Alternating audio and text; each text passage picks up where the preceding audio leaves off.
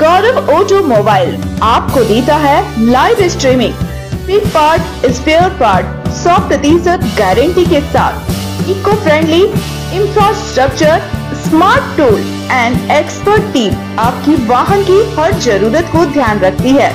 गौरव automobile spare parts और accessories पर 20 प्रतिशत तक की छूट। इसके अलावा फ्री सर्विस डिस्काउंट कूपन वो भी 90 दिनों तक वैध।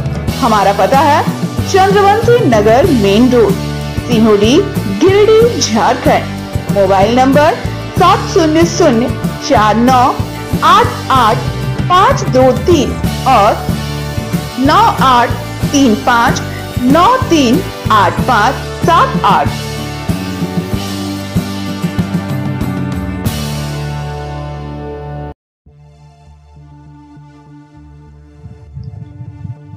गाँव प्रखंड के जमडार पंचायत में स्थापित पुलिस पिकेट को हटाए जाने का ग्रामीणों ने विरोध किया।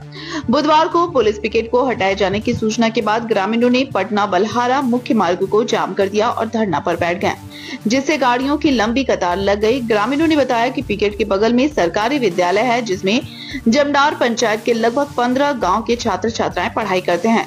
पुलिस पिकेट के रहने से सभी ग्राम वासियों के साथ विद्यालय के छात्र, शिक्षक तथा राहगीर अपने आप को सुरक्षित महसूस करते थे।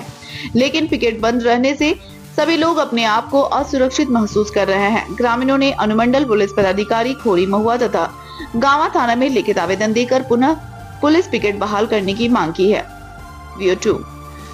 गौरतलब है कि जमडार में वर्ष 2004 में पुलिस पिकेट बहाल की गई थी। लेकिन 29 सितंबर 2024 को अचानक इस पिकेट से सभी पुलिस कर्मियों को किसी दूसरे स्थान पर भेज दिया गया। ग्रामीणों का कहना है कि जमडार पंचायत गांवा प्रखंड से 15 किलोमीटर दूर सुदूरवर्ती जंगली इलाका है। जंगली इलाका होने के कारण अभ्यर्थी अपराधियों के छुपे रहने में आसानी होती है, जिससे पिकेट हटने से इस इलाके में आपराधिक मामले बढ़ने की संभावना बढ़ जाएगी। ग्रामीणों ने कहा कि 3 अक्टूबर तक पुनः पिकेट को चालू नहीं किया गया तो हम लोग सभी ग्रामीण गिरिडीह कोडरमा मुख्य मार्ग को जाम कर अनिश्चितकालीन धरना पर बैठ जाएँगे। वहीं सड़क जाम की सूचना पर थाना प्रभारी महेश चंद्र अपने दल बल के साथ पहुँचे और ग्रामीणों को जल्द ही पुलिस पिकेट को पुनः बहाल करने का आश्वासन देने पर सड़क पर बैठे ग्रामीण अपने धरना को समाप्त कर दिया। लगभग हमको याद है वो दिन, जब ये गाँव ही नहीं, इस रास्ते से गुजरने वाले लगभग 50 से 100 गाँव के लोग जो है इस रोड में दिन में नहीं गुजर पाते थे।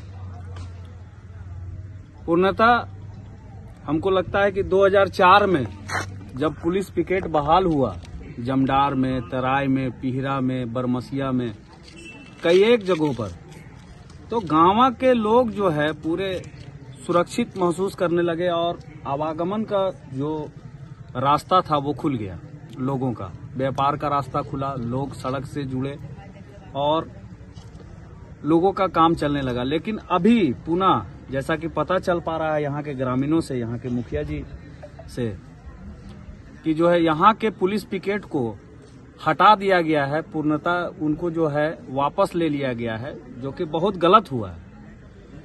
मैं आपको बतला रहा हूँ कि जमडार जो है, वो प्रखंड मुख्यालय से लगभग 15 किलोमीटर की दूरी पर है। थाना से जो है, लगभग 15 किलोमीटर की दूरी पर है। और ये जो क्षेत्र है, ये पूरा सुदूरवर्ती क्षेत्र है। और इसमें अगर पुलिस पिकेट नहीं दिया गया तो क्या था कि पुलिस पिकेट मिलने के बाद बहुत तरह का घटना था जो होना बंद हो गया था। और हमको जहाँ तक लगता है कि पुलिस पिकेट हटने के बाद अब फिर उस तरह की घटना ना हो, इसलिए हम ये मांग करेंगे। यहाँ के ग्रामीणों का मांग जो है वो जायज़ है और उस, उसके साथ हम जो है खड़े हैं और हम ये मांग करते हैं कि एक सप्ताह के अंदर पूर्णतः पुलिस जमदार पुलिस पिकेट को जो है वो बहाल करवाया जाए। अन्यथा यहाँ के लोगों के साथ मैं भी खड़ा हूँ और मैं भी आंदोलन को बाध्य होऊँगा।